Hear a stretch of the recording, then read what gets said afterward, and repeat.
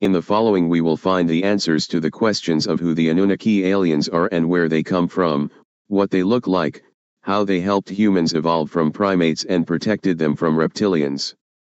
In order to answer these questions, I used mainly the information from the Forgotten Book of Genesis and secondarily the information from the book The Etheric Crystal, both written by Radu Cinamar.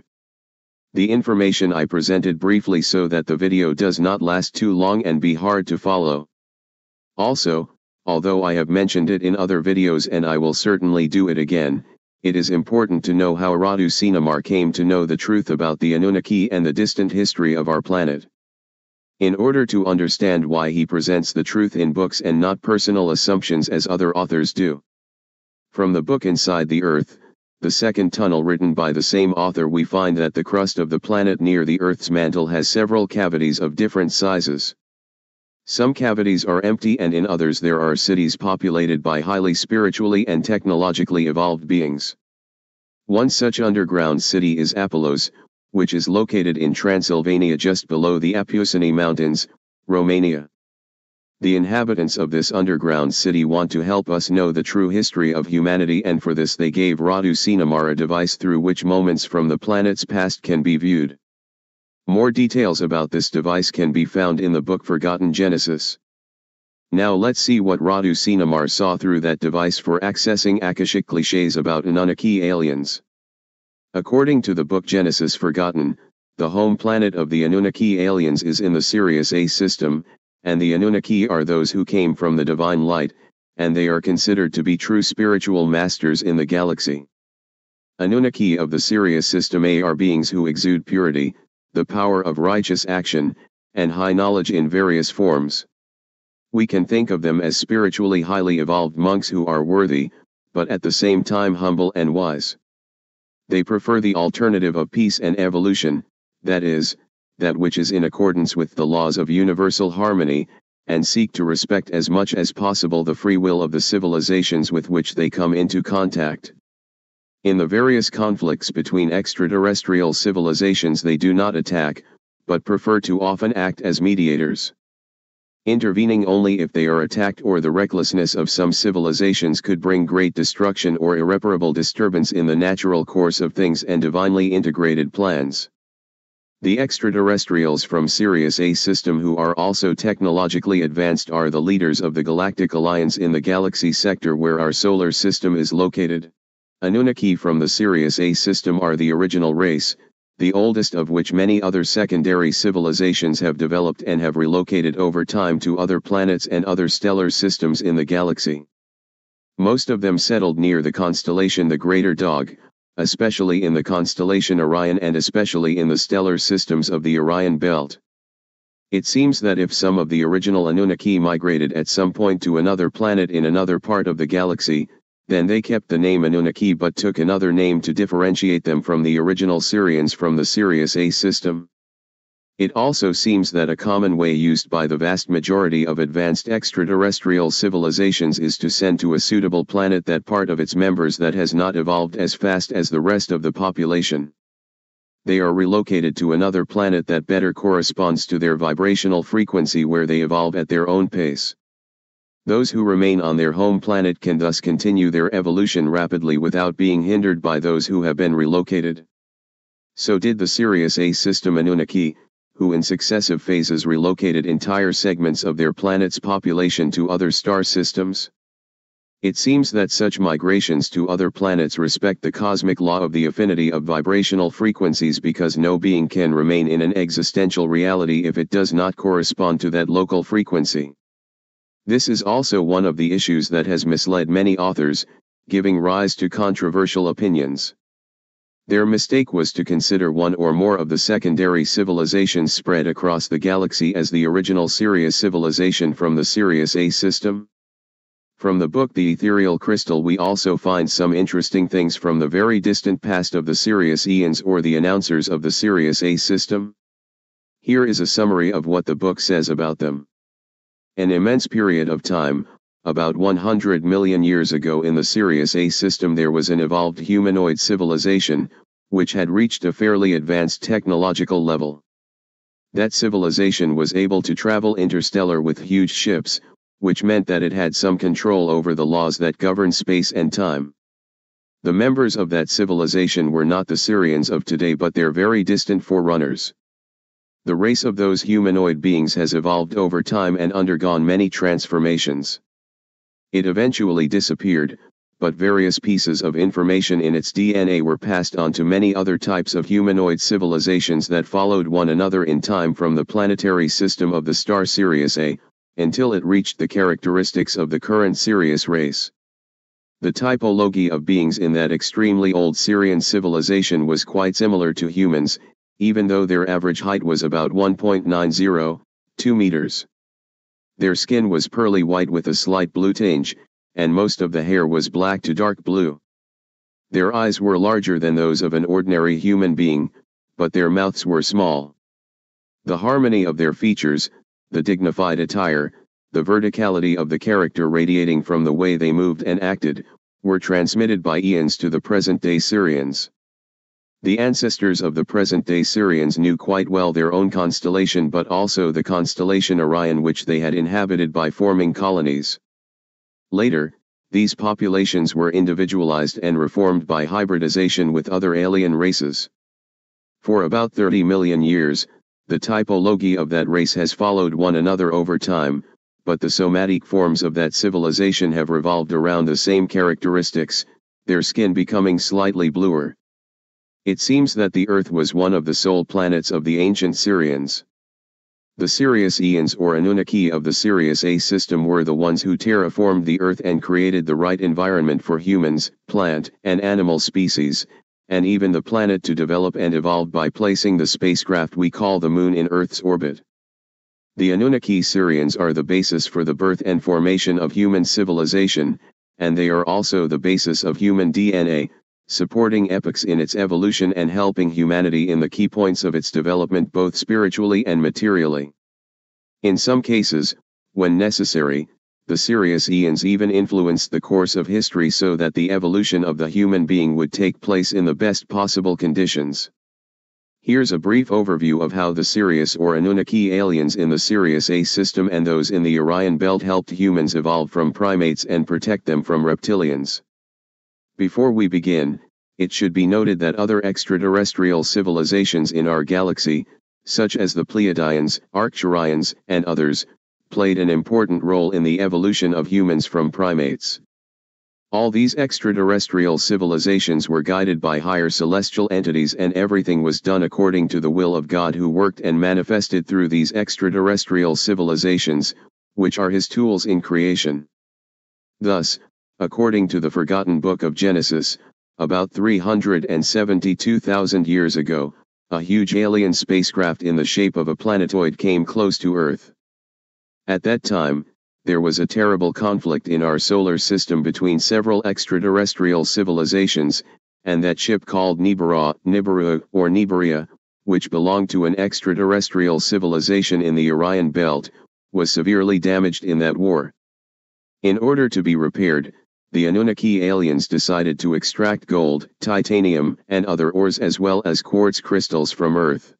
Thus, Many other small transport ships descended from Earth on the huge spherical ship, which then returned to the spacecraft in orbit, bringing the necessary materials for repairs. The commander of one of the Anunnaki transport ships that came to Earth to extract or had the idea to use some of the primates that proved to be more curious and evolved to do the mining work. Because the aliens could not stay too long time in the atmosphere of our planet due to some physical characteristics that were not compatible with their constitution. So the captain of the ship named Tenneco and the crew decided to do this by using a mental transmission technology on the primates and then using their bodies for things on the surface of the planet. In this way the primates were helped to evolve very quickly due to the mental influences of extraterrestrial beings and their technology, and on the other hand the crew in turn benefited from the help of physical work from those large primates. The decision taken then by the Anunnaki alien named Tenneco was the very beginning of the path for the transformation of primitive beings into higher beings through the genetic transformations that followed. Tenneco was a gentle being who showed a deep respect for the cosmic laws, was about 2.5 meters tall, had no hair at all, and his head was slightly elongated backwards. Tenneco can be considered the first parent of mankind, because his mental influence on primates through that extraterrestrial technology has determined over time that the DNA of those primates to intervene influences that were specific to his DNA.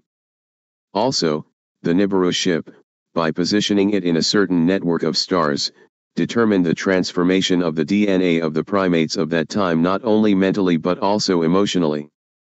In addition to the influence of Tenneco and the Nibiru spacecraft, an important role in transforming the DNA of primitive beings Homo erectus was played by the stellar alignment about 432,000 years ago when the Earth was right at the center of that stellar alignment.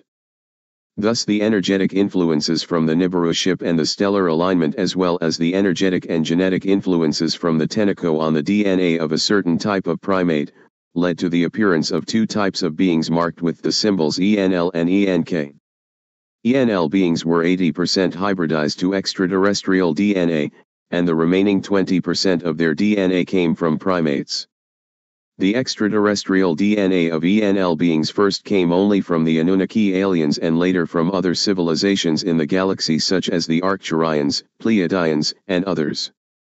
This allowed the incarnation in those bodies of some souls of Sirian or Anunnaki origin, but also the souls of other beings from the mentioned extraterrestrial civilizations or others. For example, the biblical Adam was an ENL being and represented the incarnation of a highly evolved extraterrestrial entity of Sirian origin, so Anunnaki.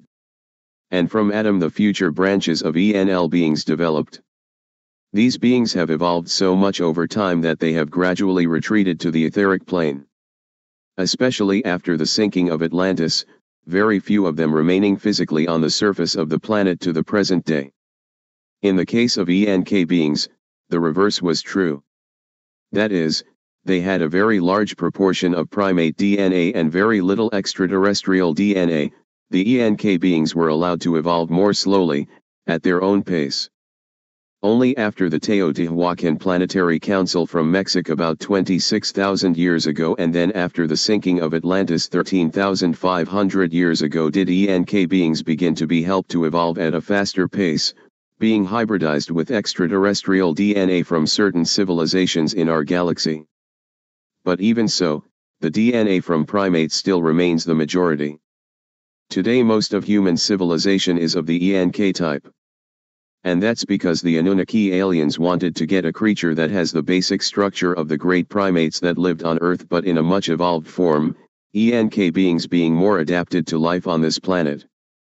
Specifically, the Homo sapiens civilization is a link between most of the ENK branch and the remaining parts of the ENL branch or hybridizations between them, so in the DNA of humans today there are, in addition to the majority of primate DNA, DNA from Anunnaki aliens. But also from other extraterrestrial civilizations such as the Pleiadians, Arcturians, or others, but to a lesser extent. So from the forgotten book of Genesis it appears that the Anunnaki Sirians are the basis for the birth and formation of human civilization and they are also the basis of human DNA. Being practically those who helped the primitive beings of hundreds of thousands of years ago to evolve and it reaches the human being who currently lives on Earth. Also from the forgotten book of Genesis we learn that about 100,000 years ago reptilian aliens then entered our solar system with their fleet.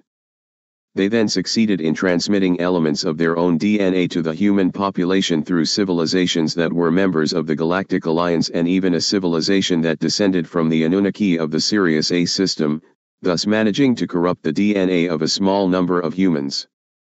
Human beings, but that corruption later spread to a larger number of people. However, reptiles could only in time control those humans who had a certain reptilian influence and energy in their DNA to some extent. This is also true today. It should be noted that the reptile influence on human DNA is a small proportion of about 2 to 3% of DNA and is not the same for all humans. To counter the attack of reptiles, the Galactic Alliance's Sirius A system leaders, along with other Alliance member civilizations, have decided to introduce to Earth the technology of the great beneficial energy resonators, the pyramids and ziggurats. In order to protect humans from the influence of reptiles. By their shape, the pyramids are powerful amplifiers of subtle energy, so that the energies emitted by the sophisticated devices inside them and the crystals are greatly amplified and transmitted in space to a well-defined target. On the other hand, the pyramids have the role of supporting the beneficial frequencies over a wide area around them so that human beings do not fall under the influence of hostile factors such as negative influences from reptilians. Because it seems that they have built a mental network of lower frequencies as a cage in order to negatively influence people. For example, the three pyramids on the Giza Plateau in Egypt represent the style of the announcements in the Sirius A system, and the stepped pyramids in South America represent the style of the announcements in the Orion Belt. We also learn from the book that the Sirius Aeons are very technologically advanced, so they could have easily defeated the reptiles about 100,000 years ago when they entered our solar system, thus being able to stop them before they could manage to corrupt human DNA. That way we can rightly ask ourselves why they didn't do this. The book gives us an explanation that I will give briefly, the intervention of reptiles was a necessity that led to a greater specialization of human DNA giving the possibility to incarnate in the physical plane of a large number of beings from the astral plane. Which otherwise would not have had the level necessary to be born into higher physical bodies.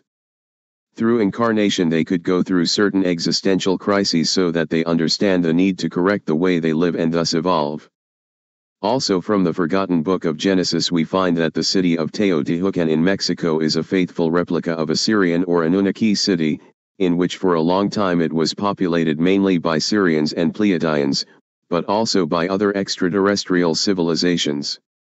The design and construction basis of the city is Sirian, its design respecting the affinities of cosmic energies in direct and precise correspondence with the stars and planetary systems of many civilizations in the Galactic Alliance.